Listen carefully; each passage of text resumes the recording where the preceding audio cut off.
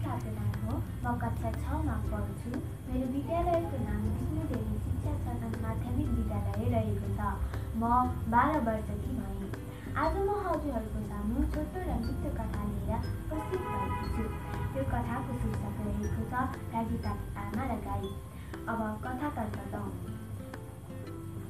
पानीले भरिभर एउटा ठुलो पोखरी थियो। साना साना भ्यागुताहरू पोखरीको भित्र बाहिर तलमाथि यताउता गरी रमाएर खेलिरहेका थिए।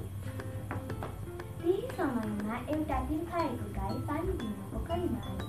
उफ्रिँदै खेलिरहेका भ्यागुताहरूलाई गाईले देखिन गाईका खुट्टाले कुल्चिएर धेरै भ्यागुताहरू भयो साँझ पख भ्यागुताहरूले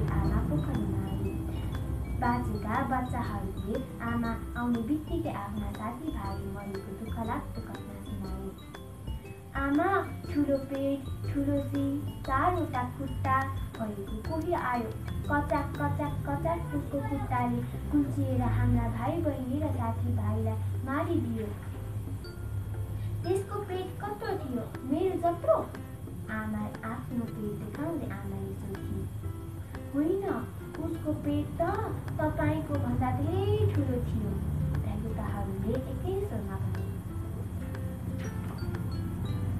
आमाले पेट फुलाउँदै फेरि सोधी के उसको पेट योभन्दा ठुलो थियो? होइन तपाईँको पेट उसको अगाडि त केही पनि होइन ऊ त धेरै ठुलो थियो। बच्चा देवताहरूले एकै भने।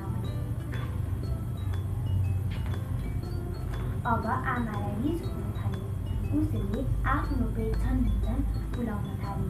पेट जति फुलाए पनि बच्चाहरू एकै स्वरमा तपाईँको पेट उसको अगाडि त केही पनि भनिरहे आमाले केही सोच्दै नसोची आफ्नो पेट झन् झन् फुलाइरहे। फुलाउँदै जाँदा आमाको पेट फुट्यो। ब्याङ बुङ ब्याङ टुक्रा टुक्रा भएको उसको पेट पोखरीको वरिपरि छरियो। सन्देश। हरेक प्राणीलाई प्रकृतिले नै शरीर रूप र आकृति दिएको हुन्छ आफ्नो शरीर रूप र आकृति बिर्सेर अर्काको नक्कल गर्न खोज्नु हुँदैन प्रका मूल प्रकाशक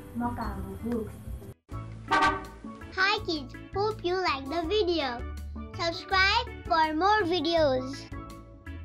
Thank you. Bye bye.